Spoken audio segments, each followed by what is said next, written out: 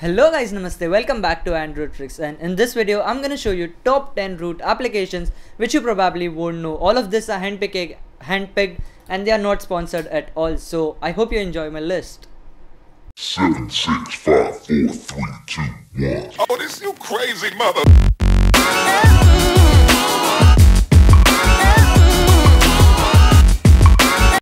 Starting off with the first application, it is called GravityBox. The MM here indicates that this is the version of Marshmallow.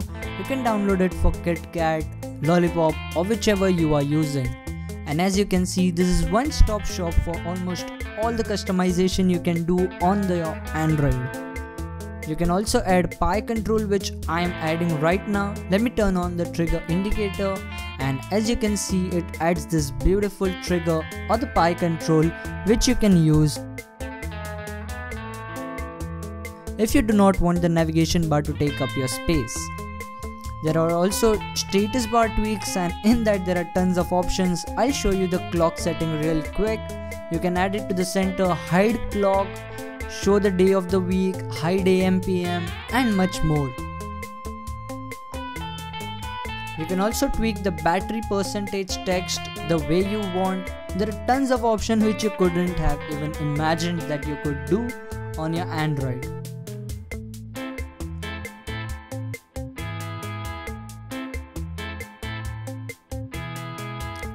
Coming to the second application, it is called Emoji Switcher. Once you are connected to the internet, it will it will detect which smiley or which emojis are running on your device.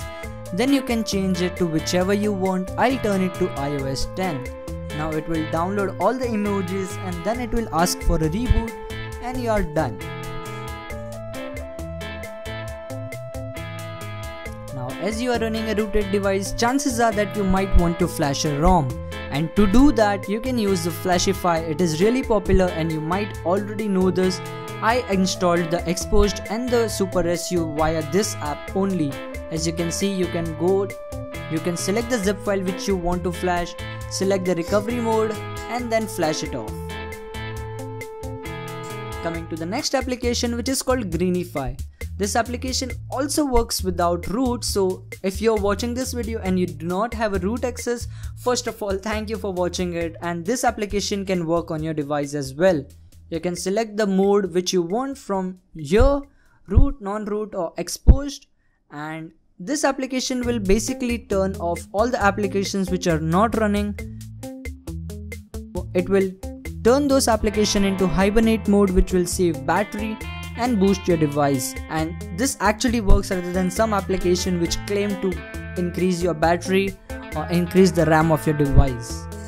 You can add the applications from here as I just did it over here. Coming to the next application, it is called Wake Lock Detector also known as WLD. This application detects which applications are running on your background and shows you how many times it woke your device or it used the battery of your device you can actually turn them into the hibernate mode of the Greenify which I showed earlier directly from this application as I just did it over here. Coming to the next application which is called Undeleter. Now as the name suggests this is the recycle bin of your Android.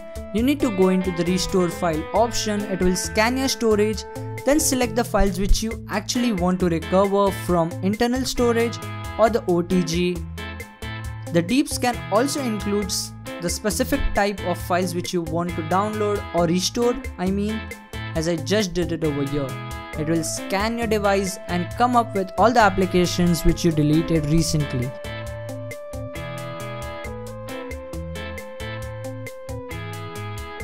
The next application on the list is the Xposed framework. Well, I have made a video specifically on this Xposed framework because it is very unique so I'll link it down below or a card will pop out right now. Just click it. This is really unique feature and it adds way more functionality to your device than you could expect. Coming to the next application which is called titanium backup. Even this is very popular among the root users but if you don't know well i'll show you. It actually backs up your device or freezes an application and you can continue from where you were even after rooting even after your device is actually flashed or wiped it will all be there.